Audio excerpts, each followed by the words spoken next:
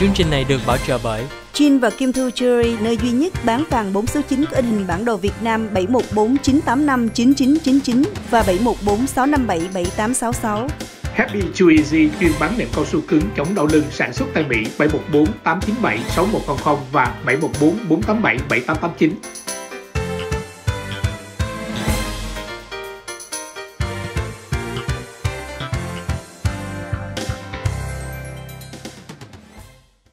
Buổi sáng trở lại với tất cả quý khán thính giả. Tối ngày hôm qua lại có thêm một chuyến xe bus thứ 30 á.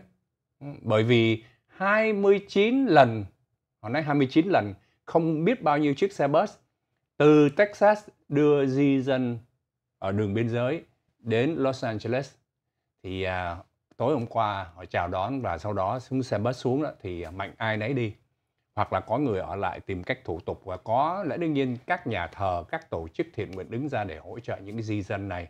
À, tin tức này đi vào thời điểm California đang thiếu di dân đó, thưa quý vị thực sự là như thế bởi vì nằm trong số 11 tiểu bang của nước Mỹ trong năm 2022 và họ nói tính luôn cả năm nay luôn nói chắc chắn là cái số lượng di dân người nhập cư vào California cùng với 10 tiểu bang khác bị thấp. California là thấp nhất đó. À, tuy nhiên điểm mà đáng lưu ý đó là à, tưởng rằng như chúng tôi đã trình bày ngày hôm qua tưởng rằng người dân California sẽ bỏ sang Texas nhiều cái chuyện đó đã từng xảy ra trong cái thời đại dịch có những cái tin tức đó. Nhưng bây giờ đó cái số người mà từ Texas lại vào California cao nhất nước Mỹ luôn cao nhất. Vì lý do họ nói khác biệt giữa tiền lương. Và chúng tôi nhìn vào cái số cái bảng lương đó mới thấy là cái sự khác biệt quá lớn bởi vì nếu mà ở Texas á, thì những người millennial này là những người mà sinh ra trong giai đoạn từ ờ, đầu ờ, thập niên 80 cho đến năm 2000 đó, họ tìm thấy ở California này lương của họ trung bình là 73.000 một năm. Một cặp vợ chồng ở Texas sang đây là một trăm mấy chục ngàn. Thì nói, ô nếu mà làm được tiền như thế đó, thì chúng ta thứ nhất đó là hưởng được cái đời sống ở California quá là tuyệt vời thứ hai nữa khí hậu thứ ba đó đời sống um, nó tốt hơn à, học khu trường tốt hơn. Chính vì thế mà họ đồng ý để dọn đi hơn 43.000 người trong thời gian qua. So với mức lương ở Texas á, nó chỉ có vào khoảng 57.000 đây là mức lương chính thức trong năm nay được ghi nhận 57.000 ở Texas. Nhưng mà sang California lên tới hơn 73.000 còn có những cái công việc mà kiếm được cả trăm ngàn nữa bởi vì số người dọn vào California đã phần lớn là dọn lên miền Bắc California thưa quý vị. À, Ngọc Lan có thể tưởng tượng đó thủ đô Washington tức là mình hay gọi là DC đó cái số lượng di dân nhập vào đây cao nhất nước Mỹ. California là chỉ có 11% mà DC lên tới 40, gấp 4 lần. 43%. Cho nên một người mà vào Cali đó có đến 4 người vào Washington DC vì công ăn việc làm. Và họ sẵn sàng đây là những người mà um, vừa ra trường hoặc là những người mà họ thấy ờ, tìm được những cái công việc rất là tốt. Với lại đời sống ở DC mặc dù nó đất đỏ đó nhưng mà đô khu đô thị mà thưa quý vị là trung tâm của ờ, chính trị của nước Mỹ nữa. Thì đó là những cái số liệu liên quan đến di dân. À, còn quý vị ở tiểu bang nào thì à, phải à, xem có cái tình hình di dân của mình ở nơi đó như thế nào. Ờ, thưa quý vị, nếu những ai sống ở gần ở Lý Đô Sài Gòn đó thì à, trong thời gian qua, nhiều năm qua luôn, quý vị đều biết có cái tình trạng gọi là à, mình gọi là gì? Cây tặc ha.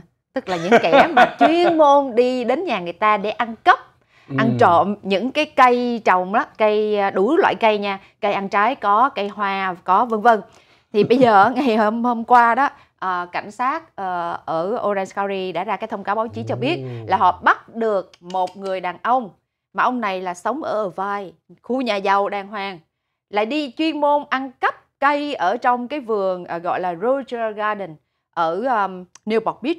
Nói cái vườn này là cây quý hiếm hả? cây dạ những cái cây đẹp cây À. quý hiếm. Thì camera của cái nhà cái nhà vườn này á họ ghi nhận được là ít nhất là 4 lần cái người đàn ông đó đó đã lẻn vào đây rồi mỗi lần là lấy lấy cắp cây ra có khi ông còn đứng là ông chụp hình mấy cái cây khác nữa. Thì những cái camera đó Để người ta bị lấy thấy là như vậy.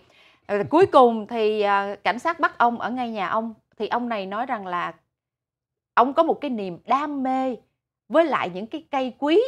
Rồi ông đi ăn cắp về để ông trưng ở trong cái sân vườn sau nhà ông á.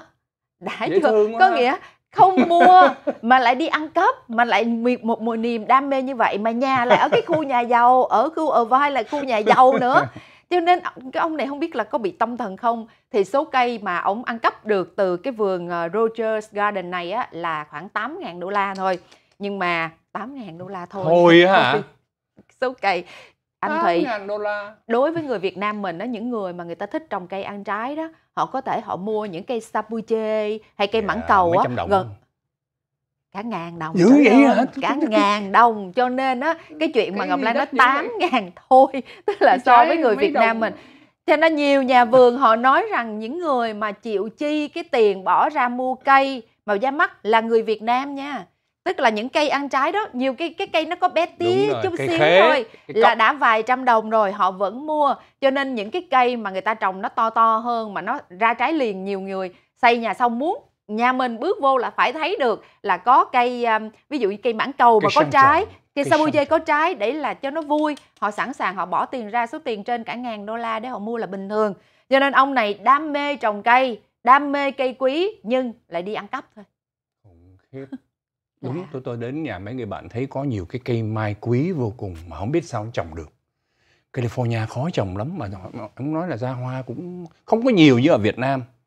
Và trồng khó lắm thưa quý vị ở mình vì California nó khô không phải là nhiệt đới nhưng mà niềm đam mê lẽ đương nhiên cũng có nhà nhãn thì tôi thấy nhiều ha nhãn thì nhiều nhãn ra nhiều ha Dạ. xoài không biết sao ta xoài xoài cũng có cũng có Dạ. nhưng mà nó họ trồng là bởi vì cái niềm đam mê cây kiểng à, thưa quý vị à, bên cạnh đó đầu năm 2024 một chiếc phi thuyền sẽ đáp xuống bề mặt của mặt trăng. Made in USA điểm đáng chú ý đó NASA cơ quan không gian của Hoa Kỳ đó thì họ chính phủ Hoa Kỳ không có tài trợ cho những cái chuyến mà mạo hiểm hay là lên à, mặt trăng nữa. Bởi vì à, Hoa Kỳ đã làm cái chuyện đó từ à, trăm sáu mấy rồi không cần phải làm nữa. Nghiên cứu hết rồi. Họ muốn đi xa hơn lên tới uh, hỏa tinh Mars. À, tuy nhiên đây lại là một công ty tư nhân và họ đã phát triển thành công cái kỹ thuật cũng như đưa cả một chiếc phi thuyền lên bề mặt của mặt trăng.